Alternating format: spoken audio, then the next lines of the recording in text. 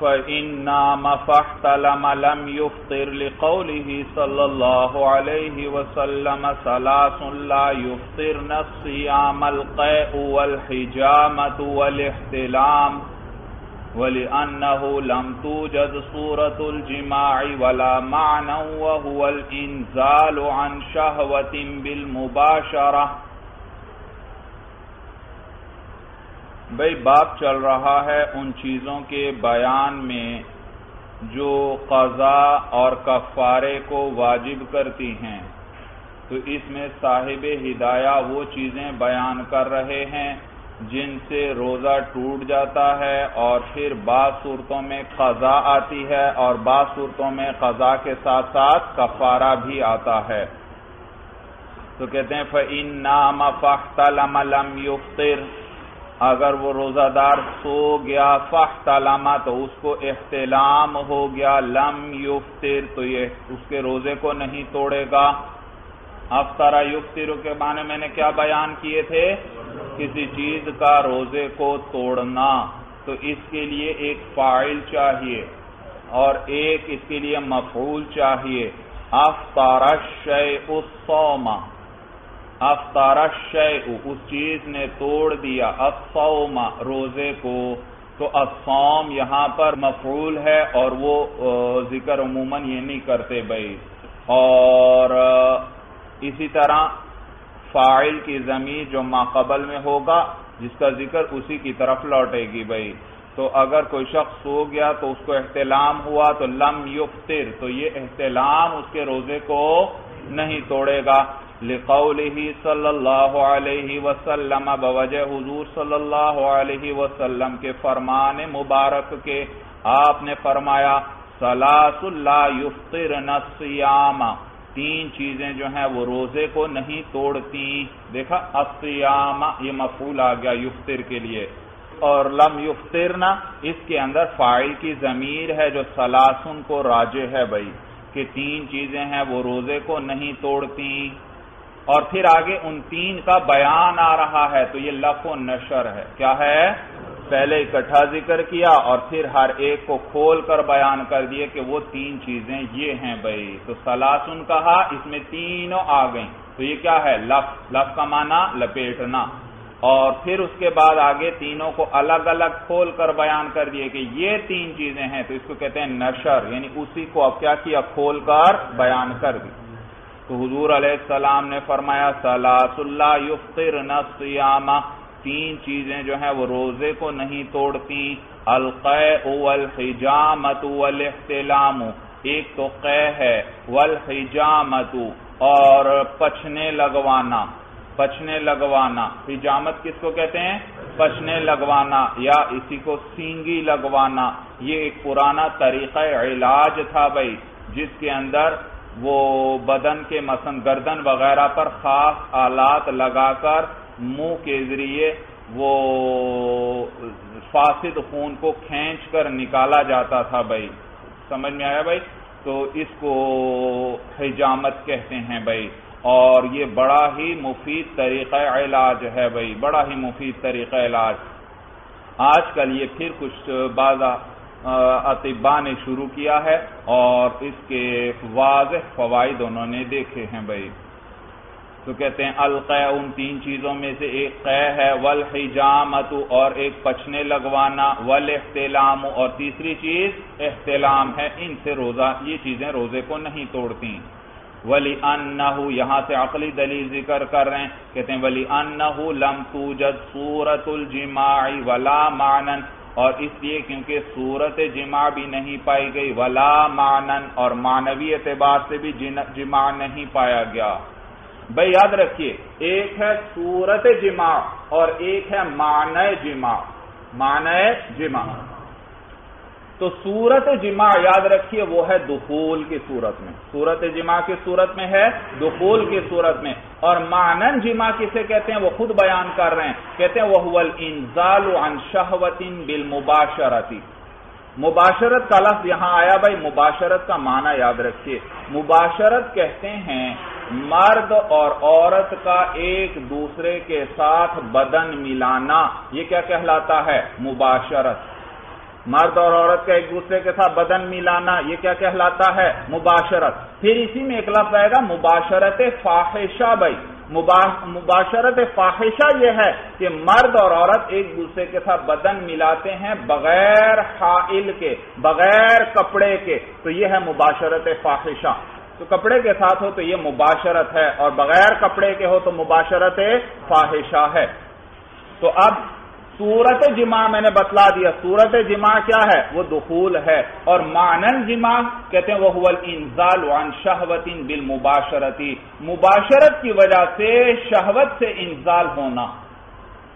मुबाशरत की वजह से मर्द और औरत ने बदन मिलाया और शहवत से इंजाल हो गया। ये क्या है? मानन जिमा है। क्या है? मानन जिमाना समझ में आ गया भाई? तो याद रखिए, सूरतन जिमा हो या मानन जिमा हो तो इस सूरत में रोजा टूट जाएगा भाई। तो यहाँ पर न तो सूरत जिमा पाई गई और न मानन जिमा पाया गया। किसके अंदर? इहतलाम के अंदर। सूरत जिमा नहीं, दुखूल यहाँ नहीं। और मानन भी जिमा नहीं, क्योंकि यहाँ पर औरत के साथ बदन का मिलाना है ही नहीं भाई। सूरत समझ में आता वकदा इजा न वरा इला इमरातिन अमना और इसी तरह है हुक्म, जब देखा उस रोजादार ने किसी औरत की तरफ़ अमना तो उसकी मनी निकल आई, यानी उसको इंजाल हो गया। सिर्फ़ देखने से क्या हो गया? इंजाल। तो इस सूरत में भी रोजा नहीं टूटेगा। क्यों भाई? कहते हैं, लिमा बैन्ना उस वजह से जो हमने बयान कर दी। क्योंकि ना सूरतन जिमा है और ना मानन जिमा है। वसार कल मुतफक्र ईदा अमना, और ये हो गया उस शख्स की तरह जो सोचने वाला है ईजा अमना, जब उसको इंजाल हो जाए। जैसे सोच में भाई, सोच और तस्वुर ही किया किसी औरत का, और उसको क्या हुआ? इंजाल हो गया। तो जैसे वहाँ पर न सूरतन जिमा है और न मानन जिमा है तो ये भी उसी की तरह हुआ। तो दोनों के अंदर, दोनों के अंदर रोजा नहीं टूटेगा। वकल मुस्तमनी बिल कफी। और जैसे के मुस्तमनी मनी को तलब करने वाला, यानी उसको निकालने वाला, बिल कफी हथेली के ज़रिए, यानी हाथ के ज़रिए हला मा कालू।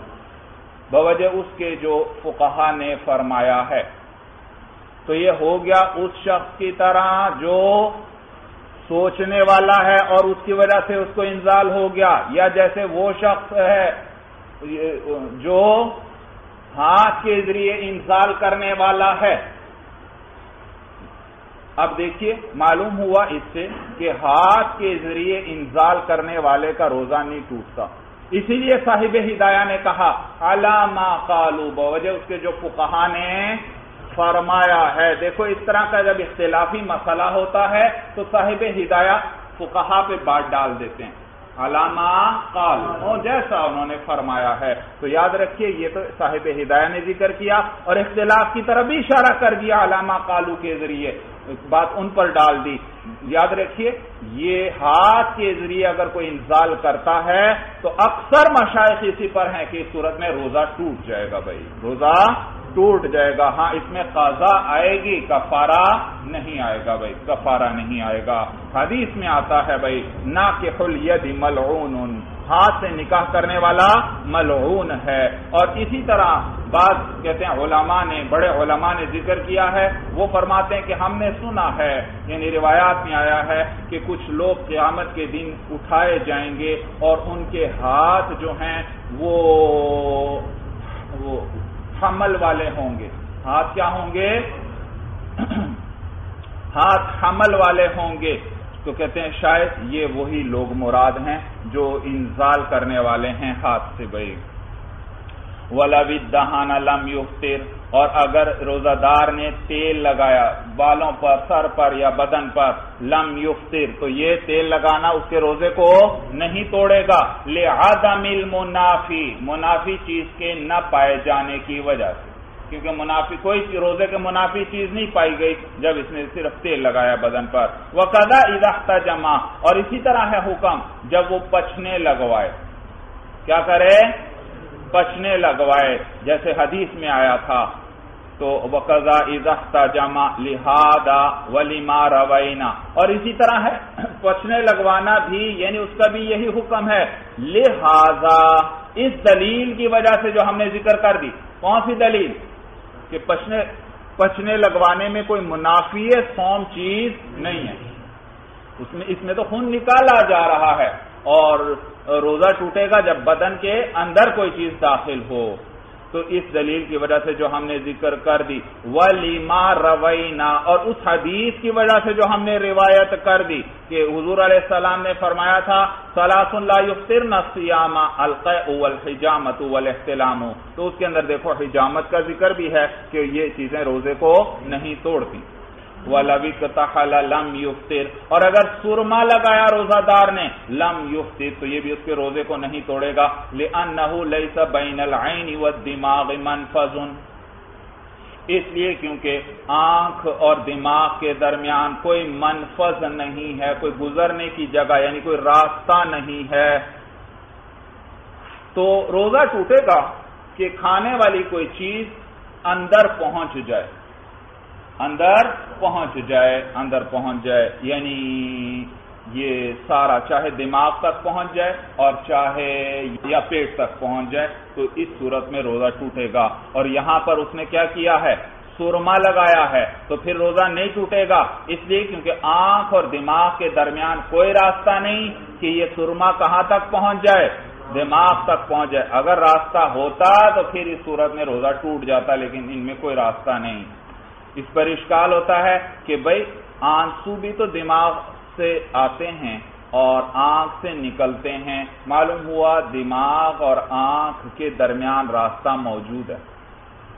इश्काल समझ में आ रहा है? तो मालूम हुआ कि आँख और दिमाग में रास्ता मौजूद है कि आँसू वहाँ से चले हैं और आँख से निकल रहे हैं। तो उसका भी जवाब दे रहे हैं। कहते हैं वह दम उयता रश कल आराकी। आरक रा के फतहा के साथ, ये पसीने को कहते हैं। और आँसू जो हैं वो टपकते हैं कल आरकी, जैसे कि पसीना है। जैसे क्या है? पसीना। बल्कि इसका ज़्यादा मुनासिब तर्जमा यूँ करें। वह दम यता रशाहु कल आरकी। और आँसू रिश्ते हैं। आँसू रिश्ते हैं कल आरकी, जैसे कि पसीना है। भाई, ये जिसम में जिसम में, जिल्द में बारीक छोटे छोटे सुराख हैं, उनको मसाम कहते हैं। क्या कहते हैं?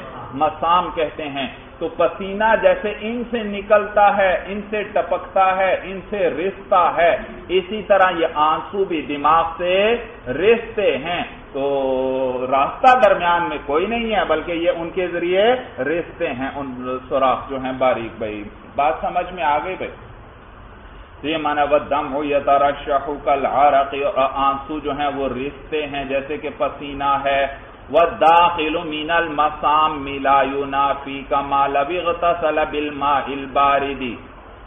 यहाँ से बतला रहे हैं, भाई, मालूम हुआ, आँसू जो हैं, आँसू वो रिश्ते हैं। मालूम हुआ, बारीक सुराख तो हैं, मसाम जैसी सूरत तो वहाँ भी है तो कुछ ना कुछ असर पहुंचेगा या नहीं अंदर? कहते हैं, भाई, मसाम के ज़रिए अगर कोई चीज़ बदन में दाखिल हो तो उससे रोज़े पर असर नहीं पड़ता भाई। जैसे जैसे इंसान ठंडे पानी से गुसल करता है तो उस पानी का असर मसाम के ज़रिए अंदर तक पहुँचता है। अंदर तक इंसान ठंडक महसूस करता है भाई। लेकिन इससे कोई फ़र्क रोज़े पर नहीं पड़ता भाई। तो कहते हैं, वह दाखिल मीनल मसाम मिलायु नाफी और मसाम से दाखिल होने वाले, मसाम में याद रखिए, ये आखिरी मीम मुशद्दद है मसाम मुन व दाखिल मीनल मसाम मिलायु नाफी और मसाम से दाखिल होने वाली चीज़, वो रोज़े के मुनाफी नहीं है। कमा लविगता सला बिलमा इल बारिदी जैसे कि वो रोजादार गुसल करे, ठंडे पानी से तो ठंडक मसाम के ज़रिए अंदर तक पहुँचती है, लेकिन इसमें रोज़े पर कोई असर इससे नहीं पड़ेगा। वला कब्बला मरातल्ला यकसुदु सौमुह, और अगर रोजादार ने बोसा ले लिया किसी औरत का, ला यकसुदु सौमुह तो उसका रोजा फासिद नहीं होगा। यूरीद बिही युनजिल साहिब हिदाया बतला रहे हैं कि मातिन ने जो कहा ना साहिब कदूरी ने, अगर औरत का बोसा ले लिया तो ये रोज़े के लिए, रोज़े को फासिद करने वाला नहीं, इससे रोजा फासिद नहीं होगा। कहते हैं, इसके ज़रिए मातिन की मुराद ये है कि जब उसको इंजाल ना हो, जब उसको इंजाल ना हो। इसलिए क्योंकि अगर इंजाल हुआ तो मुबाशरत पाई गई या नहीं पाई गई? मर्द और औरत का बदन बोसा भी लेगा, बदन का मिलना पाया गया या नहीं? पाया गया। तो मुबाशरत हुई भी हुई और उसकी वजह से शहवत से इंजाल भी हुआ है। तो इस सूरत में मानन जिमा पाया जाएगा। मानन जिमा तो ये वो सूरत ज़िक्र हो रही है, जब इंजाल न हुआ हो तो लिहाजा सिर्फ़ बोसा लिया है तो लिहाजा मानन भी जिमा नहीं, क्योंकि इंजाल ही नहीं। और सूरतन भी जिमा नहीं तो लिहाजा इसलिए रोज़े पर असर नहीं पड़े। ये माना यूरीद भी इजा लम के इरादा किया साहिब कदूरी ने इसके लिए, जब उस शख्स को इंजाल ना हो लिहादमिल मुनाफी सूरत मानन। इसलिए क्योंकि रोज़े के मुनाफी कोई चीज़ नहीं पाई गई, न सूरतन और न मानन। यानी सूरत के एतबार से भी जिमा नहीं है और माना के एतबार से भी जिमा नहीं है। बेखिलाफ रजात वल मुसाहरती अनल हुक्म होना का उदीर सबबी बखिलाफ रुजू करने के और मसला मुसाहरत में इसलिए क्योंकि हुक्म जो है हुना का वहाँ पर उदीर अल सबब वो दायर किया गया है सबब पर भाई याद रखिए अगर कोई शख्स अपनी बीवी को तलाक रजई दे दे तो इस सूरत में इद्दत के अंदर अंदर वो रुजू कर सकता है। और रुजू जिस तरह ज़ुबान से कहने से होता है, इसी तरह अगर कोई ऐसा अमल कर लिया जो रुजू पर दलालत कर रहा है तो भी रुजू साबित हो जाएगा। ज़ुबान से रुजू करता है मसन यूँ कहता है, मैं तुमसे रुजू करता हूँ या मैं अपनी बीवी पर रुजू करता हूँ, बस रुजू हो जाएगा। और अमल के ज़रिए, ज़ुबान से कुछ नहीं कहा, बल्कि सिर्फ़ किसके लिए रुजू करता है मसन अमल के ज़रिए, यानी इस हालत में वो शहवत से बीवी का हाथ उसने पकड़ लिया, या बीवी का बोसा ले लिया। अब ये शहवत से हाथ का पकड़ना, या बोसा लेना इस बात पर दलालत कर रहे हैं कि ये क्या कर रहा है? रुजू कर रहा है भाई। समझ में तो इसी तरह एक हरमत मुसाहरत वाला मसला है भाई, हरमत मुसाहरत। हरमत मुसाहरत ये याद रखिए कि अगर कोई शख्स किसी औरत को शहवत से हाथ लगा दे, हाथ लगा दे तो इस औरत के उसूल फुरो इस शख्स पर हमेशा हमेशा के लिए हराम हो जाते हैं। तो मुसाहरत कहते हैं ससुराली रिश्ते जो हैं। मुसाहरत किसे कहते हैं? ससुराली रिश्ते। तो हरमत मुसाहरत का माना हुआ ससुराली रिश्तों का एहतराम भाई। हरमत मुसाहरत क्या माना? ससुराली रिश्तों का एहतराम। चुनाचे जब कोई शख्स किसी औरत से निकाह करता है तो उस औरत की माँ जो है, वो इसकी सास बन जाती है। वो इस शख्स के लिए भी माँ के दर्जे में हो जाती है। लिहाजा वो इस शख्स पर हमेशा के लिए हराम हो गई। और इसी तरह इस औरत की जो औलाद है, वो इस निकाह करने वाले के लिए इसके अपनी औलाद के दर्जे में हो जाती है। तो उनसे भी निकाह क्या हो जाता है? हमेशा के लिए हराम। तो जब कोई शख्स किसी आम औरत को भी जब शहवत से हाथ लगाएगा तो जैसे बीवी के साथ निकाह के अंदर उस बीवी के उसूल फुरो हराम हो जाते थे, किस वजह से? ससुराली रिश्तों के एहतराम, उनसे रिश्ता बन गया या नहीं बन गया? उस औरत की माँ क्या बन गई इसकी?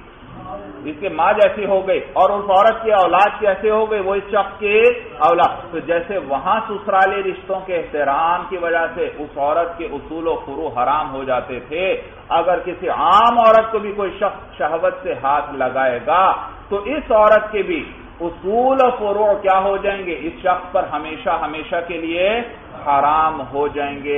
इसी ससुराली रिश्तों के एहतराम की इल्लत की वजह से। यानी ये भी उसी तरह हो गई। ये भी जैसे बीवी में हुक्म था, वही हुक्म यहाँ भी आ जाएगा भाई। मसला समझ में आया? तो अब देखिए, ये जो रुजू करना है और मुसाहरत है, मुसाहरत। ये बोसा लेने से भी रुजू साबित हो जाएगा। और इसी तरह बोसा लेने से भी हरमत मुसाहरत साबित हो जाएगी। तो साहिब हिदाया बतला रहे हैं कि औरत का बोसा लिया, इससे रोजा तो नहीं टूटेगा, लेकिन बोसा लिया तो रुजू भी साबित हो जाएगा अगर वो उसकी बीवी थी। और हरमत मुसाहरत भी साबित हो जाएगी। इसलिए क्योंकि इन मसलों के अंदर हुक्म का मदार जो है, सबब पर है। यानी दवाई दवाई जिमा पर है। किस पर है? तो रुजू के लिए यह ज़रूरी नहीं कि जिमा करेगा, फिर रुजू होगा। और हरमत मुसारत के लिए यह ज़रूरी नहीं कि जिमा करेगा तो फिर हरमत मुसारत साबित होगी। बल्कि जो दवाई जिमा है, जो चीज़ें जिमा तक ले जाने वाली हैं, उनकी वजह से भी ये रुजू भी साबित हो जाएगा, और हरमत मुसाहरत भी। तो वहाँ पर हुक्म का मदार किस पर रखा गया है? सबब जिमा पर ही हुक्म का मदार किया गया है। इसलिए वहाँ पर रुजू भी साबित हो जाएगा और हरमत मुसाहरत भी। जबकि रोज़े के अंदर ऐसा नहीं है। रोज़े के अंदर अगर रोज़े के मुनाफी चीज़ पाई जाएगी, यानी चाहे सूरतन जिमा हो, चाहे मानन जिमा हो, फिर रोजा टूटेगा और यहाँ न सूरतन जिमा है और ना मानन जिमा है। दलील समझ में आ गई? तो कहते हैं बेखिला फिर रजाती वल मुसाहरती, बखिलाफ रुजू करने और मुसाहरत के मसले के ले अनल हुक्म होना का उदीरा सबबी, इसी के हुक्म जो है वहाँ पर दायर किया गया है, सबब पर हला मायती बवजह उसके जो आगे आ जाएगी, फ़ी मौज ही अपने मकाम पर अल्लाह ताला। वलव अनजला बिकुबलतिन औलमसिन फ़ालहिल कज़ाउदून कफ़ारती और अगर इस शख्स को रोजादार को इंजाल हो गया बोसा लेने की वजह से औलम सिन या छूने की वजह से, यानी हाथ लगाने से फाल हिल कजा तो इस पर खजा वाजिब है, यानी इसका रोजा टूट जाएगा। रोजा अगर इसको इंजाल हुआ, छूने से या हाथ लगाने से, भाई क्यों? क्यों इसका रोजा टूट जाएगा? क्योंकि मानन जिमा पाया गया। और मानन जिमा किस चीज़ का नाम था? कि मर्द और औरत बदन एक दूसरे के साथ मिलाएँ। और यहाँ भी मिलाना है या नहीं? हाथ को हाथ लगाया तो बदन का मिलाना पाया गया। या बोसा लिया है तो बदन का बदन से मिलाना पाया गया। और साथ मुबाशरत की इस वजह से क्या हो जाए? शहवत से इंजाल हो जाए। तो ये था जिमा, मानवी एतबार से, और वो यहाँ पाया जा रहा है, क्योंकि इंजाल हो गया है। तो उस शख्स पर कजा है दून अल कफारती, ना के कफारा कफारा नहीं है उस पर। लिवजूद मान अल जिमाई मान जिमा के पाए जाने की वजह से। व वजूद उल मुनाफी, सूरतन और मानन यकफी ली ईजाबिल खजाई एहतियातन और मुनाफी चीज़ का पाया जाना सूरतन हो या मानन हो, ये काफ़ी है कजा वाजिब करने के लिए एहतियातन बतौर एहतियात के। तो यहाँ भी एहतियात पर अमल करते हुए ईजाब कजा का हुक्म लगाया जाएगा कि इस पर कजा वाजिब है, इसका रोजा टूट गया है। अमल कफारा तू, बाकी इन्होंने वतन में कहा था, कफारा वाजिब नहीं होगा। तो आगे आपको बताएँगे कि भाई कफारा इसलिए नहीं वाजिब कि कफारा तब आएगा जब जुर्म कामिल दर्जे का पाया जाए। जुर्म किस किस्म का पाया जाए? कामिल दर्जे का पाया जाए। और कामिल दर्जे का जुर्म तब पाया जाएगा जब सूरतन भी जिमा हो और मानन भी जिमा हो। सिर्फ़ मानन जिमा पाया जाए तो ये जुर्म चूँकि कामिल नहीं, लिहाजा कफारा भी नहीं आएगा। ये माना है अमल कफारत फतफ्तर इला कमाल जिनायती, बाकी कफारा जो है तो वो मोहताज है, कामिल जिनायत का, यानी पूरे जुर्म का, कि जुर्म पूरा होना चाहिए। ले अन्ना तंदरी उबी शुबहाती कल हदूदी। इसलिए क्योंकि ये कफारा जो है, वो उठ जाता है, यानी खत्म हो जाता है बिशुबहाती, शुभों की वजह से भी। शुबे की वजह से भी ये कफारा क्या हो जाता है? साकित हो जाता है कल हदूद, जैसे कि हदूद हैं। वला बिलकुबलती इदा अमीन आला नफसी ही यहाँ से ये मसला ज़िक्र कर रहे हैं कि भाई, क्या रोज़े की हालत में कोई शख्स अपनी बीवी का बोसा ले सकता है या नहीं ले सकता?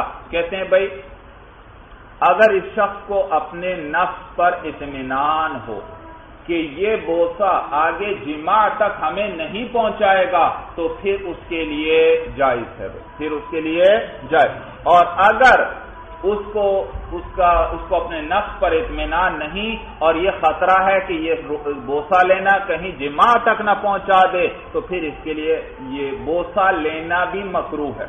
बोसा लेना भी मकरू है। तो कहते हैं, वाला बिलकुबलती ईदा अमीना अला नफ्सी और कोई हरज नहीं है बोसा लेने में ईदा अमीना अला नफ्सी जब इसको इतमान हो अपनी जात पर अल जिमा अविल इंजाला। यानी इसको इतमान हो किस पर? जिमा या इंजाल पर कि बोसा लेने से इसको ये जिमा तक नहीं पहुंचाएगा, या इंजाल तक नहीं पहुंचाएगा। वह यु करहू ईदा लम अमन और मकरू है इसके लिए जब इस जब इसको इतमान न हो। ले अन आय इसलिए क्योंकि आयन बोसा जो है, वो तो रोजा नहीं तोड़ता। आयन बोसा तो रोजा नहीं तोड़ता, जैसे अभी ऊपर ज़िक्र हुआ था। वह रुबमा यसीर फितरन बिहाबती ही और बसाओकात ये बोसा जो है, वो फितर बन जाता है अपने अंजाम के एतबार से। यानी किस तरफ़ पहुँचा देता है? जिमा की तरफ़ या इंजाल तक पहुँचा देता है। तो बसा औकात ये जो है, ये बोसा, ये फितर बन जाता है अपने अंजाम के एतबार से। तो फ इन आमीना या तबीर तो अगर इस रोजादार को अपने नफ्स पर इतमान हो तो युबर तो फिर इस बोसे की आयन का एतबार किया जाएगा, इस बोसे की जात का।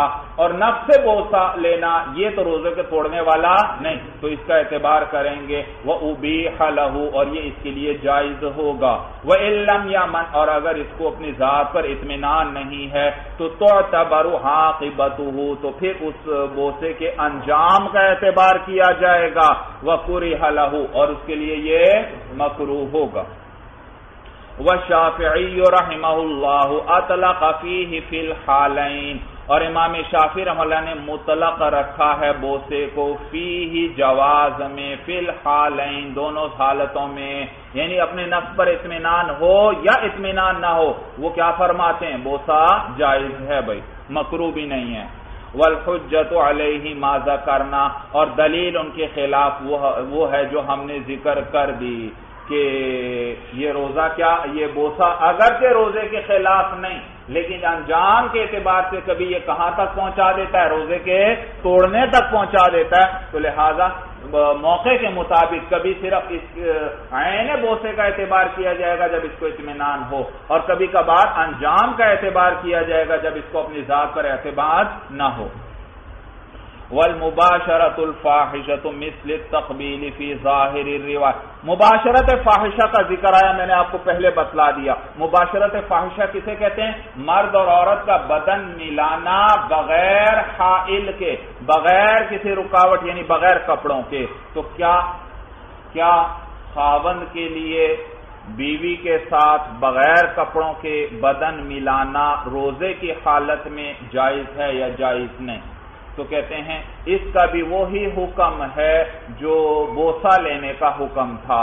अगर अपने नफ्स पर इतमान है तो फिर फिर जायज़ है। और अगर अपने नफ्स पर इतमान नहीं तो फिर इस सूरत में ये भी मकरू है भाई। तो कहते हैं, वल मुबाशरतुल फाहिशत मिसल तकबील फ़ी ज़ाहिर रिवायती। और मुबाशरत फाहिशा जो है, वो भी बोसा लेने की तरह ही है। फ़ी ज़ाहिर रिवायती, ज़ाहिर रिवायत के मुताबिक। वन मोहम्मद रहीमहू कुरिहल मुबाशरतुल फाहिशतुलहू कल्लमा तखलु अनिल फितनती। और इमाम मोहम्मद रहमल्ला के नज़दीक मुबाशरत फाहिशा मकरू है। मुतलकन मकरू है, चाहे नफ्स पर इतमान हो या इतमान न हो, हर हाल में मकरू है। लिअन्नहु कल्लमा तखलु अनिल फितनती। इसलिए क्योंकि बहुत कम ये फितने से खाली होगा। ये यकीनन किस तरफ़ पहुँचा देगा इंसान को? ये इंसान को यकीनन फितने में मुबतला कर देगा। वलौदा कला हल कहू जुबाबुन वह जाकिर लम युफ्तिर। मसला ये भाई, एक आदमी है, वो उसके हलक में मक्खी चली गई और उसको रोजा याद है तो क्या इससे उसका रोजा टूट जाएगा या रोजा नहीं टूटेगा? कहते हैं, इस सूरत में रोजा नहीं टूटेगा, रोजा नहीं टूटेगा। इसलिए क्योंकि अगर अगर के सूरतन मुफ्तिर चीज़ पाई गई है, लेकिन मानन मुफ्तिर चीज़ नहीं। भाई, एक चीज़ है जो सूरतन मुफ्तिर हो, रोज़े को तोड़ने वाली। और वो क्या? कि खाने, के कोई चीज़ अंदर पेट तक पहुँच। जाए ये क्या है? सूरत इफ्तार, सूरतन इफ्तार है। ये क्या है? कि कोई चीज़ पेट तक अंदर पहुँच जाए। और एक मानन इफ्तार है कि वो चीज़ ऐसी हो जिससे गजा हासिल की जाती हो, जिसे खाया जा, जिससे बदन को नफा होता हो। तो सूरत इफ्तार क्या है? कि कोई ऐसी चीज़ पेट में चली गई, सूरत इफ्तार। कोई चीज़ पेट के अंदर चली जाए, ये क्या है? सूरत इफ्तार। और मानन इफ्तार क्या है? कि वो चीज़ भी बदन को नफा देने वाली है, यानी गजा वगैरह है। सूरत समझ में? तो यहाँ मक्खी उसके पेट में चली गई है। ठीक है, सूरतन तो इफ्तार है, एक चीज़ पेट में पहुँच गई। लेकिन मानन इफ्तार नहीं, क्योंकि ये गजा नहीं तो कहते हैं वलौदा खला हल्का हो जुबाबुन, और अगर दाखिल हो गई उस रोजादार के हल्क में मक्खी, वह हुआ जाकिर ही इस हाल में कि उसको अपना रोजा याद है, लम युफ्तिर तो ये उसके रोज़े को नहीं तोड़ेगी। वह फिल कयासी अफसुद हो और कयास के मुताबिक तो इसका रोजा फासिद हो जाएगा। ले वसूल इल्मुफ्तिर इला जौफी ही इस वजह से कि रोजा तोड़ने वाली चीज़ पहुँच गई है इला जौफी ही इसके पेट तक। वह इनकान लायुतगजा भी अगर से गजा हासिल नहीं की जाती। का तुरा वल हसाती, जैसे कि मट्टी है, वल हसाती और कंकरी है। कंकरी और संग्रेजा। जैसे कि मट्टी और संग्रेजा है। और मट्टी और संग्रेजा, अगर ये पेट तक पहुँच गया तो इस सूरत में रोजा टूट जाता है। इस सूरत में, क्योंकि सूरतन इफ्तार पाया गया या नहीं पाया गया? कोई चीज़ पेट के अंदर तक पहुँच गई है तो सूरतन इफ्तार पाया गया। अगर सूरतन इफ्तार है तो इस सूरत में रोजा टूट जाएगा। तो लिहाजा मट्टी और कंकरी कोई निगल लेता है तो रोजा टूट जाएगा। लेकिन यहाँ यहाँ मक्खी पेट में गई है यहाँ कयास को छोड़कर किस पर अमल किया गया है? इस्तेहसान पर। तो, तो यहाँ पर इस्तेहसानन उसका रोजा नहीं टूटेगा। इसलिए क्योंकि इससे बचना उसके बस में नहीं था। क्योंकि इस मक्खी से बचना उसके बस में नहीं था भाई। तो कहते हैं, वजहुल इस्तेहसानी, और इस्तेहसान की वजह यह है कि अनहु, कि इसके इस्तात नहीं होती, इससे बचने की। फश बहल गुबार अवध दुखाना तो ये मक्खी मुशाबे हो गई गुबार के और धुएँ के। जैसे एक जगह से आप मसन गुजर रहे हैं, वहाँ पर गुबार मौजूद है तो रोजादार हैं तो अब गुबार से तो नहीं बच सकते, वो तो ज़रूर कुछ ना कुछ सांस के साथ अंदर जाएगा। इसी तरह कहीं धुआँ है तो अगर कहीं से गुजर रहे हैं और धुआँ है तो उसे भी आप नहीं बच सकते, वो भी ज़रूर कुछ ना कुछ सांस के साथ अंदर चला जाएगा। तो जैसे उस धुएँ और उस गुबार से बचना इंसान के बस में नहीं होता। इसी तरह यहाँ ये मक्खी से भी बचना उसके बस में नहीं था तो ये उनकी तरह हुई। और उन गुबार और धुएँ की सूरत में तो रोजा नहीं टूटता तो लिहाजा इसकी सूरत में भी रोजा नहीं टूटेगा। सूरत समझ में ये वो सूरत बयान हो रही है, जब वो धुआँ बगैर इख्तियार के उसके सांस के साथ अंदर गया है। और अगर कोई इरादे के साथ लेकर जाता है, मसन हुक्का पीता है वगैरह तो याद रखिए इस सूरत में रोजा टूट जाएगा भाई रोजा टूट जाएगा। वक्त फिल मतरी वसलजी और इख्तिलाफ किया है फुकहा ने बारिश में और बर्फ़ में। बारिश हो रही है भाई, एक शख्स बारिश में चल रहा है और कुछ एक आध खतरा उसके पेट में पहुँच गया, उसके हलक से गुजर गया और पेट तक पहुँच गया तो इस सूरत में कहते हैं उसका रोजा टूट जाएगा। या इसी तरह बर्फबारी हो रही है और वो सांस लेते हुए बर्फ़ के चंद जर्रात क्या हुए? पेट में चले गए तो इस सूरत में उसका रोजा टूट जाएगा। इसलिए क्योंकि इनसे बचना इसके बस में था। इससे बचना इसके बस में था। मसलन बारिश में बाहर ना निकलता, छत के नीचे रहता बर्फबारी में बाहर ना निकलता, या बाहर निकला है तो मुँह बंद करके इनके लिए बच सकता है या नहीं बच सकता? तो इनसे चूँकि बचना उसके बस में है, इसलिए इनमें रोजा टूट जाएगा भाई। तो कहते हैं वक्त लफूफिल मतरी वसलजी और इख्तलाफ किया है फुकाहा ने बारिश में और बर्फ़ के अंदर। वल असहु और ज़्यादा सही कौल यह है कि ये रोज़े को फासिद कर देंगे। ले इम्कान अनहु। इस वजह से कि इनसे बाज रहना मुमकिन है, यानी इनसे बचना मुमकिन है। ईजा आवा हुकैमतुन और सख्फुन। जब ठिकाना दे दे इस रोजादार को कोई खैमा या कोई छत बई या छत इसको ठिकाना दे दे तो इनसे बचना मुमकिन है। या इसी तरह जैसे वो मुँह बंद कर ले तो इनसे बचना मुमकिन है भाई। वलव अकल लहमन बैन असनानी फ इनकान कलीलम युफ्तिर व इनकान कसीर युफ्तिर। मसला ये कि एक शख्स ने गोश्त खाया था और गोश्त के कुछ जर्रात जो हैं, कुछ रेशे उसके दांतों में फंस गए। और फिर वो इन रेशों को निगल लेता है तो क्या इससे उसका रोजा टूटेगा या रोजा नहीं टूटेगा? तो आपको बतलाएँगे कि अगर ये कलील हुए, थोड़े से हैं तो रोजा नहीं टूटेगा। और कसीर हुए तो इस सूरत में रोजा टूट जाएगा। और कलील और कसीर का हद फासिल जो है, वो चने की मकदार है। एक चने के दाने की मकदार, अगर इसके बराबर हुआ वो गोश्त का टुकड़ा जो दांतों में फंसा हुआ था तो ये कसीर है, इस सूरत में रोजा टूट जाएगा। और अगर चने के दाने से वो छोटा हुआ वो टुकड़ा तो फिर इस सूरत में ये कलील है और ये मुआफ है भाई। इसका वही हुक्म है जो लोहाब का है। जैसे लोहाब निकलने से रोजा नहीं टूटता, इसी तरह इस छोटे से टुकड़े के निकलने से भी रोजा नहीं टूटता। लेकिन याद रखिए, ये मसला उस सूरत में है जब वो जो गोश्त का टुकड़ा था, छोटा सा, वो दांतों के अंदर था और वहीं से निकला और पेट में चला गया।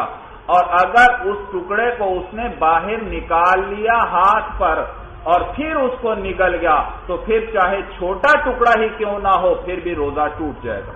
क्योंकि मुँह के अंदर था तो वो लोहाब वाला हुक्म था छोटे टुकड़े का। लेकिन जब मुँह से निकल आया, अब लोहाब का हुक्म नहीं रहेगा। मसला समझ में आ गया। वलव अकल लहमन बैन असनान ही और अगर खा लिया रोजादार ने, ऐसा गोश्त जो इसके दांतों के दरमियान था फ़ैन का न कलील लम युफ्तिर, अगर वो थोड़ा सा था तो ये रोजा नहीं तोड़ेगा। व इनका न कसीर युफ्तिर, और अगर वो ज़्यादा हुआ तो वो रोजा तोड़ देगा। वकाल जुफर युफ्तिर फिल वजहैन। और इमाम जुफर हमला फरमाते हैं कि ये रोज़े को तोड़ देगा दोनों सूरतों में, चाहे थोड़ा हो, चाहे ज़्यादा। ले अनल हुक्म जाहिरी। उनकी दलील भाई, वो फरमाते हैं इसलिए क्योंकि जो मुँह है, इसका ज़ाहिर का हुक्म है। इसका हुक्म बाद एतबार से इसके जा, ये ज़ाहिर के हुक्म में है यानी खारिज के हुक्म में है। किसके हुक्म में है? खारिज। इसीलिए रोज़े के अंदर आप कुल्ली करते हैं वज़ू करते हुए। अब कुल्ली करते हुए मुँह के अंदर पानी ले गए। तो इसको दाखिल शुमार नहीं किया जाता इसीलिए रोजा नहीं टूटता। अगर ये मुँह का हुक्म दाखिल बदन का होता तो इस सूरत में तो क्या हुक्म लगाया जाता? रोज़े के टूटने का हुक्म लगाया जाता। लेकिन आ, वो कुल्ली करता है और उसे उसका रोजा नहीं टूटता। मालूम हो ये मुँह का हुक्म कौन सा है? खारिज का है।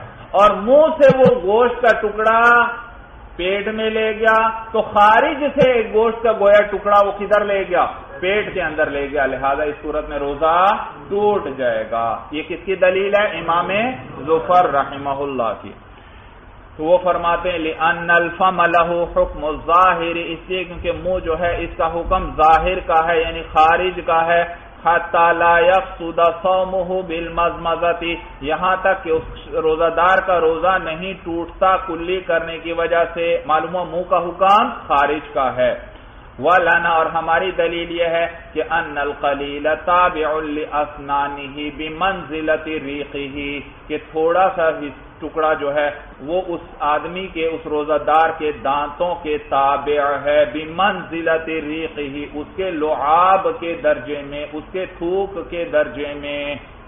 बेखिलाफ कसीर बखिलाफ कसीर के लिए अनहुल्ला फीमा बैनल असनानी इसलिए क्योंकि वो दांतों के दरमियान बाकी नहीं रहता कलील का यह हुक्म है क्योंकि थोड़ा छोटा बहुत टुकड़ा तो गोश्त का दांतों में रह ही जाता है इसलिए हमने इसको किसका हुक्म दे दिया दांतों वाला ही हुक्म दे दिया और जैसे दांतों पर लोहाब भी लगता है उसको अंदर ले जाने से रोजा नहीं टूटता तो यहाँ पर भी वो कलील से रोजा नहीं टूटेगा। और अगर कसीर है, बड़ा टुकड़ा है, वो तो दांतों के अंदर बाकी नहीं रहता। वो तो इंसान बाकी रहने ही नहीं देता भाई, समझ में आया भाई? उसको तो उससे तो तंग होगा, ज़रूर उसको निकालेगा तो उसको दांतों का हुक्म नहीं दिया जा सकता। कलील को तो कौन सा हुक्म दे दिया? दांतों वाला ही हुक्म दे दिया और वो लुआब के दर्जे में हो गया, लेकिन कसीर जो है उसका दांतों वाला हुक्म नहीं, वो लुआब के दर्जे में नहीं है। मसला समझ में आ गया। ये माना बेखिलाफ इल कसीर, बखिलाफ कसीर के लिए नहुल्ला यब काफीमा बैनल असनानी, इसलिए क्योंकि वो दांतों के दरमियान बाकी नहीं रहता। वल फासिल मकदार उल हिम्मती और फासिल जो है, फ़र्क करने वाली जो है, वो चने के दाने की मकदार है। हिम्मतुन, ये चने के दाने को कहते हैं। तो यानी कलील और कसीर में फासिल, यानी फ़र्क करने वाली चीज़, वो कितनी मकदार है? चने के दाने की मकदार है। वह मादूनहा कलील और चने के दाने से जो कम है, वो कलील है। मालूम हो जो चने के दाने के बराबर है, वो कलील नहीं है। व इन अखरजहू व अकदहू बीयदी सुम अकलहू यम बेगीदा सौमुहू। और अगर वो शख्स जो है, उस गोश्त के टुकड़े को निकाल लेता है वह अखजहू बीयदी और उसको अपने हाथ से पकड़ लेता है सोम अकलहू, फिर उसको खा लेता है। यम बगी अयफसुदा सौ मुँह तो मुनासिब यह है कि उसका रोजा टूट जाए। कमा अन मोहम्मद इन रहमल्ला, जैसे कि रिवायत किया गया है इमाम मोहम्मद रहमल्ला से सौमुहु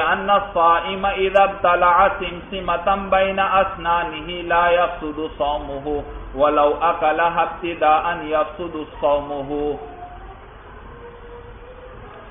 तो कहते हैं, भाई, अगर ये गोश्त के टुकड़े को हाथ में निकाला और फिर इसको खाया और निगल गया। तो इस सूरत में मुनासिब यह है कि इसका रोजा रोजा फासिद हो जाना चाहिए। जैसे कि इमाम मोहम्मद रमल्ला से रिवायत किया गया है एक मसला, उससे पता चलता है। इमाम मोहम्मद रमल्ला ज़िक्र करते हैं कि रोजादार अगर एक तिल तिल जानते हैं नहीं भाई? तिल। अगर रोजादार एक तिल जो है, उसको जो उसके दांतों के दरमियान था। तिल कहाँ फंसा हुआ था? दांतों के दरमियान। वो उस तिल को निगल गया तो इस सूरत में उसका रोजा फासिद नहीं होगा। और अगर उसने इब्तदान ही वो तिल खाया है, यानी हाथ में था और उसको खा गया। ये इब्तदान खा रहा है। और एक सूरत क्या थी? वो कहाँ पर था? दांतों के दर तो दांतों के अंदर था और खा लिया है तो फिर उस सूरत में वो फरमाते हैं, उसका रोजा फासिद नहीं होगा। और अगर इब्तदान का खाया है, यानी हाथ में था और फिर उसको खा गया है तो उस सूरत में वो फरमाते हैं, इसका रोजा फासिद हो जाएगा। तो इससे मालूम हुआ कि अगर वो गोश्त का टुकड़ा मुँह से निकालेगा और फिर निकल जाएगा, फिर चाहे चने के दाने से कम ही क्यों ना हो, उसका रोजा फासिद हो जाएगा, क्योंकि तिल की वजह से इमाम मोहम्मद रमला फरमा रहे उसका रोजा फासिद हो जाएगा। और तिल तो चने के दाने से बहुत छोटा होता है। सूरज समझ में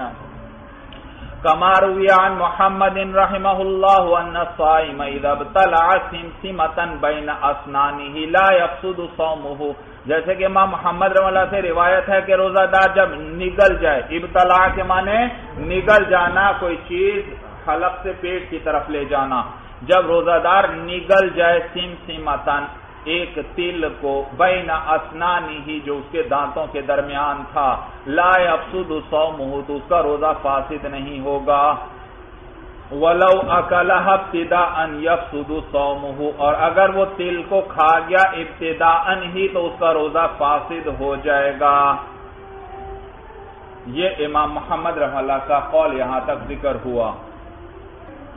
वलौ मजगा लायक तलाशा हाँ अगर इब्तदान उसने तिल का दाना, भाई, वो तिल जो था, अगर मुँह में है, दांतों के दरमियान था, उसको निकल ले, सूरत में तो रोजा नहीं टूटता। लेकिन अगर इब्तदान खाता है, यानी मुँह में तिल का दाना डाला और उसको निकल गया तो इस सूरत में इमाम मोहम्मद वाला क्या फरमाते हैं? उसका रोजा टूट जाएगा फासिद हो जाएगा। लेकिन अगर इसने वो तिल का दाना इब्तदान खाया, मुँह में रखा और फिर उसको चबाया भी, उसको चबाया भी तो फिर इस सूरत में रोजा नहीं टूटेगा। भाई, क्यों नहीं टूटेगा? कहते हैं इसलिए क्योंकि वो पहले इतना छोटा सा है। अब जब वो उसको चबाएगा तो वो तो मुँह के अंदर ही गुम हो जाएगा भाई। लुआब के अंदर ही गुम हो जाएगा। तो उसका निगलना भी किसकी तरह है? न निगलने की तरह ही है। तो वो, बल्कि यूँ कहें, उसका हुक्म भी वही लोहाब की तरह हो जाएगा। और लोहाब से तो रोजा नहीं टूटता, उसको अगर निकले तो इससे भी रोजा नहीं टूटेगा।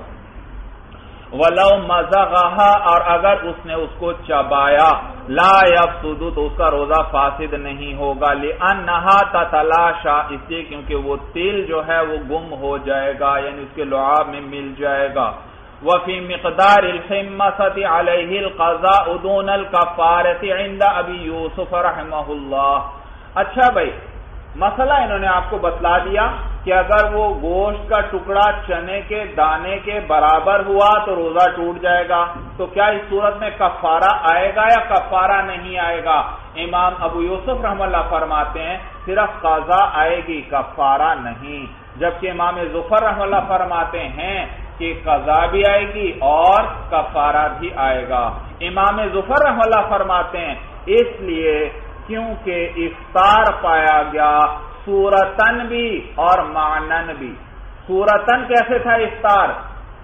कि एक चीज़ बाकायदा निगल कर कहा पहुँचा दी? पेट तक पहुँचा दी। और मानन भी इफ्तार पाया गया। ऐसी चीज़ निगली है जो बदन को नफा देने वाली है जिसको बतौर गजा के खाया जाता है। जबकि इमाम यूसुफ रमला फरमाते हैं कि कजा आएगी, कफारा नहीं आएगा। इसलिए क्योंकि सूरतन तो अगर से इफ्तार पाया गया है, लेकिन मानन इफ्तार नहीं। मानन इफ्तार नहीं। भाई, मानन इफ्तार किस तरह नहीं है? वो गोश्त का टुकड़ा है, वो तो बदन को कुवत देने वाला है और नफा देने वाला है। कहते हैं इसलिए क्योंकि इस तरह का ये जो टुकड़ा है, इसको कोई भी खाना पसंद नहीं करता, तबीयत इससे नफरत करती है, इसमें तो बदबू वगैरह पैदा हो जाती है तो कोई भी इसको खाना पसंद तो लिहाजा इफ्तार सूरतन तो है, एक चीज़ पेट में तो गई है, लेकिन उस चीज़ को बतौर गजा कोई भी खाना पसंद नहीं करता तो मानक इफ्तार नहीं है। लिहाजा जिनायत कामिल नहीं, जब जिनायत कामिल नहीं तो कफारा नहीं आएगा। दलील समझ में आ गई? तो कहते हैं, वफी मकदार हिम्मसती अलहिल कजा उदून कफारती। और चने के दाने की मकदार में उस पर कजा है, ना के कफारा। आइंदा भी यूसुफ रहमल्ला, इमाम अबू यूसुफ रहमल्ला के नज़दीक। व आइंदा जुफर अलहिल कफारत और इमाम जुफर रहमल्ला के नज़दीक। उस पर कफारा भी है ले अन्नहु तामुन मुतगैरुन क्योंकि ये जो गोश्त का टुकड़ा है, ये भी ऐसा ताम है मुतगैरुन जो बदल गया है। बेशक बदबूदार हो गया है लेकिन है तो क्या? ताम है, खाने की चीज़ है। वली अभी यूसुफ रहमल्ला अरे अबू यूसुफ रहमल्ला की दलील यह है कि अन्नहु या तब कि तबीयत जो है इसको नापसंद करती है, तबीयत इसे नफरत करती है। माना समझ में आ गया? आफ या आफू का माना नफरत करना, घिन खाना। अन्नहु या आप तब हो के तबीयत जो है इसको नापसंद करती है, इसे नफरत करती है। फ़िन जराहुल कैलम युफ्तिर। भाई, याद रखिए कै के अंदर मसला भाई, कै। अगर रोज़े की हालत में किसी को कै आ जाए, कै आ जाए। तो दो सूरतें हैं। ये कै खुद ब खुद आई होगी या इस शख्स ने जानबूझकर कै की होगी? तो अगर खुद कै आई है तो फिर इससे रोजा नहीं टूटता, चाहे जितनी भी ज़्यादा क्यों ना हो। लेकिन अगर उसने जानबूझकर कै की है तो मिल उल फम होगी, मुँह भर होगी तो ये रोज़े को तोड़ देगी। अगर मुँह भर न हुई तो ये रोज़े को नहीं तोड़ेगी। मसला समझ में आ गया? तो ये मसला हमेशा याद रखिए भाई, अक्सर पेश आता है। अगर खुद कै आ जाए उससे रोजा नहीं टूटता भाई। हाँ अगर खुद कोई जानबूझकर कै करता है तो फिर इस सूरत में मुँह भर हो तो रोजा टूट जाएगा। तो कहते हैं फ इन जराहुल कैलम युफ्तिर। बस अगर रोजादार को कै आ गई, जराअल कै का माना है कै का आना। फ इन जराहुल कै अगर रोजादार को कै आ गई लम युफ्तिर तो ये उसके रोज़े को नहीं तोड़ेगी। लिकौल सल्लल्लाहु अलैहि वसल्लम, मन का फला कजा अलैहि व इस्तका आमिदन फलैहि कजा बवजह नबी करीम सल्लल्लाहु अलैहि वसल्लम के इस कौल मुबारक के आपने फरमाया, मन का जिस शख्स ने तय की, फला कजा अलैहि तो उस पर कजा नहीं है। व मन इस्तका हामिदन और जिसने जान बूझ कर कै की इरादे के साथ तय की फ़ालहिल कजाऊ तो उस पर कजा है। भाई, याद रखिए, हदीस में लफ्ज आया इस्तका इस्तका और इस्तका के माने हैं जानबूझ कर तय करना, इरादे से कह करना। और का के माने हैं कै आना भाई। तो का और इस्तका में क्या फ़र्क हुआ? कि का में जानबूझकर नहीं होगी, जबकि इस्तका में जान तो इस्तका का माना हुआ, जानबूझकर कह करना। तो फिर ये आमिदन की कैद क्यों आई हदीस के अंदर? मन इस्तका आमिदन। क्योंकि यही माना तो कौन अदा कर रहा है? इस्तका अदा कर रहा है। इस्तका के माने भी जानबूझकर करना। तो जवाब ये कि आमिदन की कैद हदीस में आई नासियन को निकालने के लिए। नासियन को निकालने के लिए। यानी इस्तका जिस शख्स ने जानबूझकर कह की आमिदन, इरादे के साथ, यानी उसको रोजा याद था। नासियन भूले से नहीं, बल्कि रोजा याद था, फिर उसने तय की तो उस पर कजा वाजिब है भाई।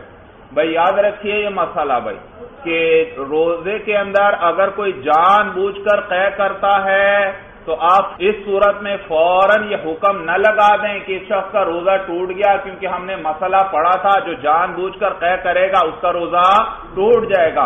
बल्कि ये ज़रूरी है कि जब उसने जानबूझकर तय की, उस वक्त उसको रोजा याद हो। अगर रोजा याद होने के बावजूद वो जानबूझकर तय करता है तो ये हुआ इस्तका आमिदन भाई, ये इस्तका आमिदन हुआ। और अगर करता तो खैर जानबूझकर है, लेकिन उसको रोजा नहीं याद। समझ में आया भाई? तबीयत उसकी ठीक नहीं हो कुछ चीज़ खाई थी जिसकी वजह से, जिसकी वजह से तबीयत पर बोझ था, उसने जानबूझकर तय की। लेकिन उस वक्त ये याद नहीं था कि मेरा रोजा है। अगर उसे याद होता तो वो ऐसा ना करता। वो भूल गया है और उस वक्त उसने जानबूझकर तय की तो फिर इसका वही हुक्म है जो आम तय का है। समझ में आया भाई? और इस सूरत में रोजा नहीं टूटेगा भाई। तो हदीस में यह आमिदन की कैद किस लिए आई? नासियन को निकालने के लिए। जानबूझकर करे और रोज़े को भूला हुआ है तो फिर इस सूरत में रोजा नहीं टूटेगा। और जानबूझकर की और रोजा याद है या आमिदन है तो सूरत में रोजा टूट जाएगा भाई। समझ में आया भाई? इस कैद का आपने लिहाज रखना है, आगे भी जहाँ पर आ जाए। इसी तरह जैसे अगले मतन पे नज़र रखिए। मनी तका आमदन, जिसने कहे कि जानबूझकर, यहाँ पर भी देखिए, इस तका का लफ्ज आएगा, और इस तका का क्या माना? जानबूझकर करना। और आमदन से किसको निकाल दिया? निस्यानन को निकाल दिया कि भूले से अगर ऐसा किया है, यानी रोजा याद नहीं था, और जानबूझकर कह की है तो फिर इस सूरत में यह हुक्म नहीं है, रोजा नहीं टूटेगा भाई। यहाँ तक बात समझ में आ गई भाई? मालूम हुआ, अगर कैद जानबूझकर करे तो फिर कब रोजा टूटेगा? जब वो हामिदन हो गई यानी उसको रोजा याद हो। और अगर रोजा नहीं याद तो फिर फिर वही हुक्म है जो आम कह का है। और आम कह जो खुद आए उससे रोजा नहीं टूटता तो इससे भी रोजा नहीं टूटेगा। वयस्तवी फ़ी ही मिल उल फमी फमा दूना हो और बराबर है इसके अंदर मुँह भर होना और या इससे कम होना। यानी जो कै खुद आई है, वो चाहे मुँह भर हो या इससे कम हो, ये सब बराबर हैं। यानी इन सूरत में रोजा नहीं टूटेगा। फलव आदा, अगर उसने, अगर वो कै वापस लौट गए, फलक तक आई या मुँह तक आई और वापस लौट गए लौट गए। याद रखिए, अब आगे ज़िक्र करेंगे इख्तलाफ इमाम यूसुफ रहमल्ला का और इमाम मोहम्मद रहीमहुल्ला का।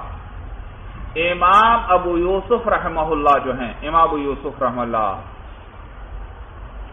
वो फरमाते हैं कि खुरूज का एतबार किया जाएगा। अगर मुँह भर हो तो इसको खारिज शुमार किया जाता है। और इसीलिए इसकी वजह से वज़ू टूट जाता है। क्या होता है?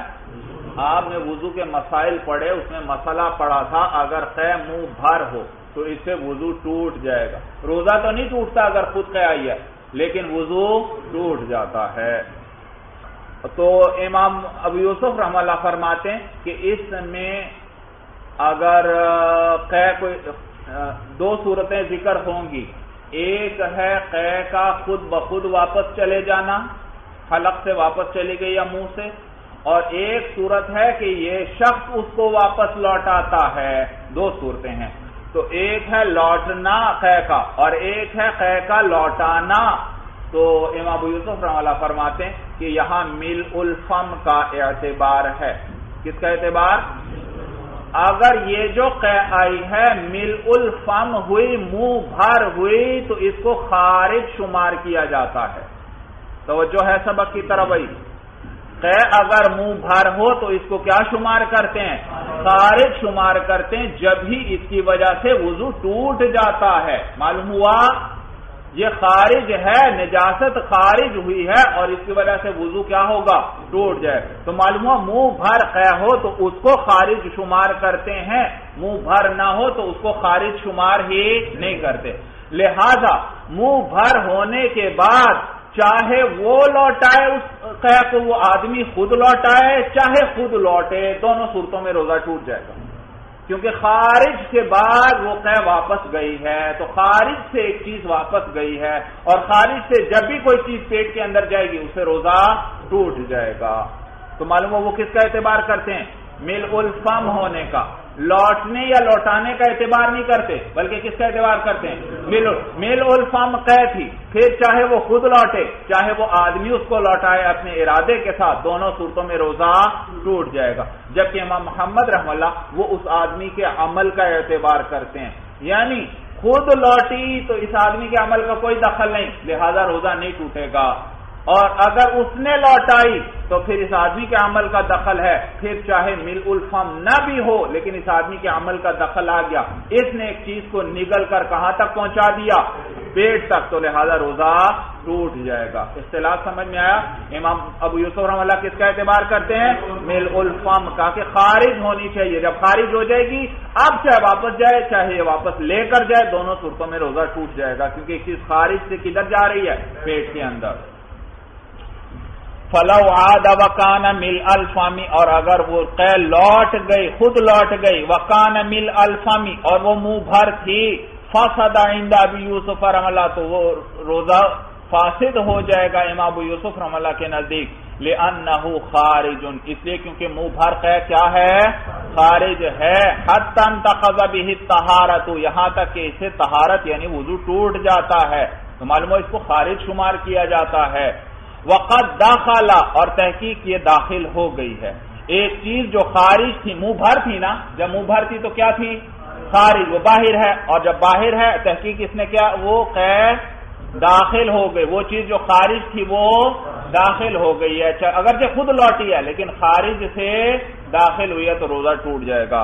वाइंदा मोहम्मद इन रहमसूद और इमाम मोहम्मद रमल्ला के नज़दीक उसका रोजा फासिद नहीं होगा लियान नहू लमतूजद सूरतुल फित्री इसलिए क्योंकि फितर की सूरत नहीं पाई गई फितर तो किसको कहते थे कि खुद इंसान एक चीज़ को निगल कर पेट तक पहुँचा दे और यहाँ इस आदमी के अमल का कोई दखल नहीं है खुद लौटी है खैर तो वो फरमाते हैं, क्योंकि नहीं पाएगी फितर की सूरत, वह हुआ लिबतिलाऊ और वो निगल लेना है। तो निगलना यहाँ नहीं पाया जा। कदा माना हूँ और इसी तरह माना फितर भी यहाँ नहीं पाया गया। माना फितर किस किस चीज़ का नाम था? भाई, एक तो सूरतन इफ्तार था, कोई चीज़ कहाँ तक पहुँच जाए? पेट तक पहुँच जाए। वो सूरतन फितर भी यहाँ नहीं, क्योंकि इसने खुद नहीं लौटाया, वो खुद लौटी है। और मानन भी फितर नहीं। इसलिए क्योंकि ये कोई गजा वाली चीज़ नहीं जो वापस गई है। ये तो क्या थी? कैद थी भाई। वह कदा माना हो और इसी तरह फितर का माना भी नहीं पाया गया। लिया नहू लाजा भी आदतन। इसलिए क्योंकि इससे गजा हासिल नहीं की जाती आमतौर पर। वह इन आदा, और अगर इस शख्स ने उस क्या को लौटाया है, फसादा बिल इजमाई। तो बिल इजमा, उसका रोजा फासिद हो जाएगा। यानी दोनों के नज़दीक, बिल इजमा से क्या मुराद है? साहिबैन, दोनों के नज़दीक। लिवजूद इदखाल इबादल फुरूजी इस वजह से कि इदखाल, यानी दाखिल करना पाया गया बादल फुरूजी किसके बाद? फुरूज मिल उल फम थी। तो मिल उल फम खारिज थी या खारिज नहीं थी? खारिज थी। और फिर इसने इसको वापस लौटाया है। तो इमाम यूसुफ रमल्ला तो लौटने या लौटाने का एतबार नहीं करते। वो किसका एतबार करते हैं? मिल उल्फाम तो। कह तो मिल उल्फाम थी। तो चाहे अब ये खुद लौटे या ये वो आदमी लौटाए। और यहाँ कौन सी सूरत ज़िक्र हो रही है? उस आदमी ने लौटाई है। दोबारा दोनों सूरतों में उनके नज़दीक रोजा फासिद हो जाता है। और इमाम मोहम्मद रमल्ला किसका एतबार करते थे? उस आदमी के अमल का एतबार करते थे और इसने जब लौटाई है तो इसका अमल है या नहीं अमल? अमल है तो इसलिए का बिल इजमा रोजा फासिद होगा, ले वजूद इल खाल इबादल खरूज, क्योंकि दाखिल करना पाया गया निकलने के बाद फयत सूरत उल्फित्री तो फितर की सूरत पाई गई। व इनकान अकल्ला मिल इल्फा मिफाद अलम यफसुद सोमू और अगर वो कै मुँह भर से कम थी फहाद तो वो लौट गए लम यफसुद सोमू तो उसका रोजा फासिद नहीं होगा। ले अन्ना हो गैर खारिजिन, क्योंकि वो खारिज ही नहीं है। ये किसकी दलील? इमाम यूसुफ जब मुँह भर नहीं है तो खारिज नहीं है। तो गोया खारिज से तो कोई चीज़ अंदर गई ही नहीं, क्योंकि मिल उल्फम नहीं है, उससे कम है। वला सुन आलहू और नींद इसलिए, ला सुन आलहू फिल इदखाली, दाखिल करने में इस आदमी के अमल का कोई दखल नहीं। तो ये किस, इस दलील का ताल्लुक किससे है? इमाम मोहम्मद रमल्ला से। यहाँ तक बात भी समझ में आई कि नहीं आई? व इन आदफा कदालिका इंदा अभी यूसुफ रहमल्ला और अगर इसने लौटाया तो भी हुक्म इसी तरह है इमाम अबू यूसुफ रमल्ला के नज़दीक। कौन सी सूरत में? जब मिल उल फम ना हो तो फिर चाहे जान बूझ कर भी लौटा दे। तो इमाम यूसुफ रामला के नज़दीक फिर भी यह हुक्म है रोजा फासिद नहीं होगा। ले आदमिल खरूज, क्योंकि खरूज नहीं पाया गया। मिल उल फम है ही नहीं तो खरूज ही नहीं है। वाइंदा मोहम्मद यफसुद सौमह और इमाम मोहम्मद रमला के नज़दीक उसका रोजा फासिद हो जाएगा। लिवजूद सुन फिल ईद खाली इसलिए क्योंकि इस आदमी का अमल पाया गया फिल ईद खाली उसको दाखिल करने में। चाहे मिल उल्फम नहीं है, वो फरमाते हैं।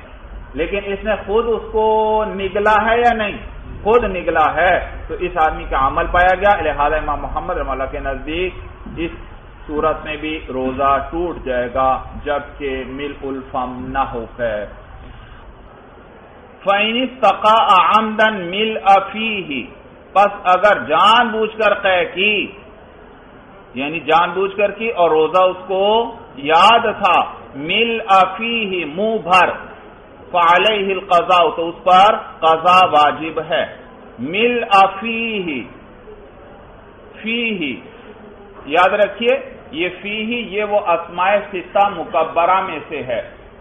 असमाय सिता मुकबरा आपने नहव के अंदर पढ़े हैं भाई, कि उनका उनका एराब क्या है? हालत रफी में वाव के साथ, हालत नस्बी में अलिफ के साथ, और हालत जरी में या के साथ। तो ये फ़ी ही, ये फ़ी असल में वही फम है, फम। फ़ी ही अफामी ही, मिल अफामी ही समझ में आया भाई? मुँह भर हो। तो ये जो फम है ना, फम, लफ्ज अरबी में मुँह को कहते हैं, और फम की असल है फवाहन भाई। असल क्या है? फवाहुन भाई। फिर इसमें से हा को खिलाफुल कयास हजफ कर लिया गया तो फवन रह गया। क्या रह गया? फवन रह गया।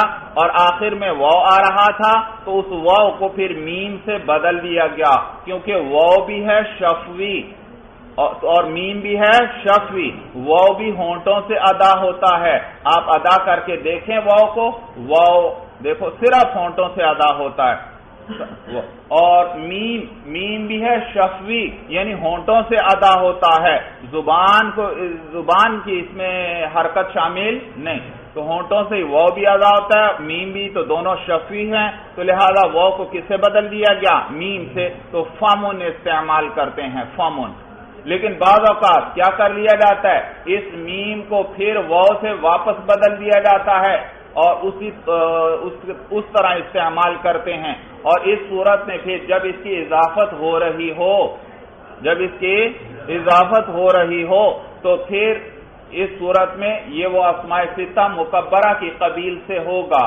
और वह असमाय सिता मुकबरा उसके अंदर आपने पढ़ा था कैदें पड़ी थी कि असमाय सिता मुकबरा मुआहदा हो, यानी जब मुफरत के सीगों हों मुकबरा हो, यानी मुसगर के सीगे तस्वीर वाले सीगे ना हो, और मुजाफ हो इला गैर या इलमुतकलिम या मुतकलिम के अलावा की तरफ़ तो फिर इस सूरत में इनका एराब हालत रफ़ी में वाव होगा हालत नस्बी में अलिफ और हालत जरी में या। जा अनी अखू का देखो वाव के साथ। रई तो अखा का देखो अलिफ के साथ। मरार तो भी अखी का देखो या के साथ। तो इसी तरह, ये यहाँ पर भी इसी तरह होगा।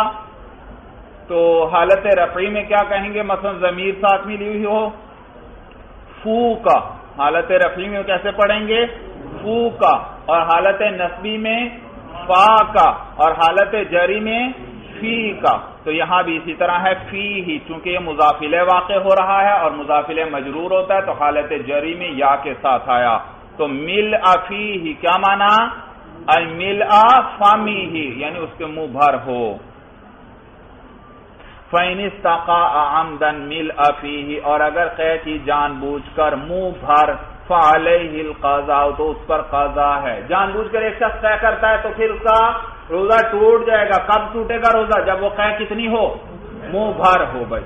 लिमा रवैना, उस हदीस की वजह से जो हमने रिवायत कर दी। हदीस में क्या आया था? मानिस्तका आमिदन फाल हिल कजा, जिसने जानबूझकर कै की तो उस पर कजा है।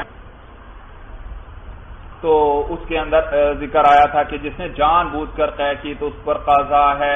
वल कयास मतरूकुम भी और कयास को तर्क कर दिया जाएगा इसकी वजह से, इस हदीस की वजह से।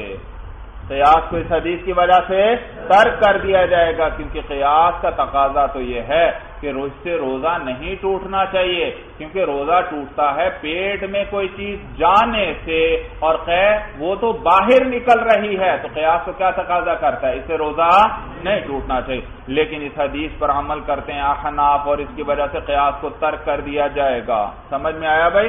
जैसे अहनाफ, आप देख रहे हैं, हर जगह पर अहादीस ही को दलील के तौर पर ज़िक्र करते हैं, और जहाँ हदीस नहीं मिलती तो फिर इस सूरत में कयास की तरफ़ रुजू किया जाता है।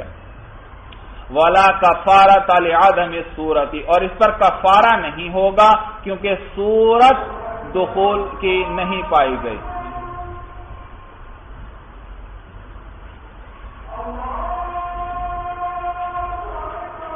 वला तल आदम सूरती। और कफारा नहीं होगा ले आदम सूरती, क्योंकि सूरत नहीं पाई गई, यानी इफ्तार की सूरत नहीं पाई गई। जानबूझकर कह की है, ठीक है, पेट से कोई चीज़ निकली तो है, लेकिन रोजा तो टूटता किससे है? पेट के अंदर कोई चीज़ ले कर जाएगा तो सूरतन यहाँ इफ्तार नहीं है तो लिहाजा इसलिए कफारा नहीं आएगा, सिर्फ़ कजा आएगी। वहीं का ना अकल्ला मिल इल्फमी फ़जाली का मोहम्मद रहमल्ला इतलाक हदीसी। इमाम मोहम्मद रमला फरमाते हैं, अगर मिल उल फम से कम कह ही क्यों ना हो, जब जानबूझकर कर रहा है तो चाहे मुबर हो, चाहे उससे कम हो, दोनों सूरतों में रोजा टूट जाएगा, क्योंकि हदीस में मुतलकन आया है, वहाँ मिल उल फम की कैद नहीं है, लिहाजा चाहे थोड़ी हो, ज़्यादा हर एक से रोजा टूट जाएगा। तो कहते हैं, वह इनकान अकल्लामी फ़कज़ालिका मोहम्मद रहमल्ला और अगर वो जानबूझकर जो कह की है, वो मिल फम से कम है तो भी हुक्म इसी तरह है, इमाम मोहम्मद रहमल्ला के नज़दीक इतलाक हदीसी, हदीस के मुतलक होने की वजह से वाइंदा अबू यूसुफ रहमल्ला लादमिल खरूज हुक्मन। और इमाम अबू यूसुफ रमला के नज़दीक जब मुँह भर से कम हो, जो कह जानबूझ कर की है और वो मुँह भर से कम हो तो ला अफसुदू रोजा फासिद नहीं होगा। ले आदमिल खरूज हुक्मन, क्योंकि खरूज नहीं पाया गया हुक्मन। हुक्मन गोया खरूज पाया ही नहीं गया। इसकी वजह से वज़ू भी नहीं टूटता भाई। सुम्मा इन आद। फिर अगर इसने इस कै को लौटा दिया। कै कलील थी, मुँह भर से कम थी, लेकिन जानबूझकर की और फिर इसको वापस फिर ये खुद लौट जाती है या वो लौटाता है, दो सूरतें हैं। तय कौन सी है? जानबूझकर। और मिल उल फम से कम है तो दो सूरतें एक सूरत वो खुद लौटे, एक सूरत यह कि आदमी लौटाए तो क्या हुक्म होगा वो बयान कर रहे हैं। कहते हैं, सुम्मा इन आदा लम यफसुद आइंदा हो फिर अगर ये कै जो मिल उल फम से कम थी, जो इसने जानबूझकर की थी, अगर ये खुद लौट गई, लम यफसुद। आइंदा हो तो उसका शख्स का रोजा फासिद नहीं होगा इमाम अबू यूसुफ रमल्ला के नज़दीक ले आदमी सबकिल खरूजी इसलिए क्योंकि इससे मुकदम खरूज नहीं था इस दाखिल होने से पहले खरूज नहीं पाया गया क्योंकि खरूज कब पाया जाएगा जब कै कितनी हो मिलुल फाम होता खरूज होगा खरूज के बाद फिर कै वापस जाएगी तो फिर दुखूल पाया गया और अगर खरूज यहाँ जब ये खैर मिलुल फाम से कम है तो खरूज ही नहीं पाया गया और जब खरूज नहीं तो इस सूरत में रोजा भी नहीं टूटेगा। ये माना ले आदमी सब किल खरूज। इस वजह से कि खरूज का मुकदम होना मादूम है। वह इन आदहू और अगर इसने खुद लौटाया तो इसमें उनसे दो रिवायतें हैं। मुँह भर से कम तय थी जानबूझकर की थी और इसको फिर उस आदमी ने खुद लौटाया वापस। तो दो रिवायतें हैं। एक तो ये कि सूरत में रोजा फासिद नहीं होगा, क्योंकि खरूज नहीं पाया गया और खरूज के बाद कोई चीज़ लौटाता तो इदखाल भी पाया जाता। जब खरूज नहीं तो इदखाल भी नहीं। और दूसरी रिवायत के मुताबिक रोजा फासिद हो जाएगा, क्योंकि अब अमल कसीर आ गया। अब इसको मिल उल्फाम वाला हुक्म दे देंगे। अमल कसीर क्या आया? पहले खुद कैद की और फिर खुद उसको वापस ले गया। तो अब क्या हो गया? दो दफ़ा अमल आ गया तो अमल कसीर हो गया। लिहाजा इसको कौन सा हुक्म दे देंगे? मिल उल्फाम वाला। और मिल उल्फाम जानबूझकर तय करे तो उसमें रोजा टूट जाता है तो यहाँ भी रोजा टूट जाएगा। तो कहते हैं, वह इन आदा हो और अगर उस तय को लौटाया पान हो नहू लाफसुद के तो फिर इस सूरत में उसका रोजा फासिद नहीं होगा। लिमाज करना उस वजह से जो हमने ज़िक्र कर दी। वह अन हो रेमाबू यूसुफ रमल्ला से दूसरी रिवायत यह है कि अन नहू यफसुदू, कि उसका रोजा फासिद हो जाएगा। जब उसने वो रुकै मिल फम से कम है और जानबूझकर उसको लौटा दिया। तो फ़ल हाका मिल इल्फामी तो इसको इन्होंने मिला दिया मिल उल्फाम के साथ, लिकसरत सुनई, उसके अमल के कसीर होने की वजह से, और रोजा तोड़ने का हुक्म लगा दिया भाई। बात समझ में आ गई?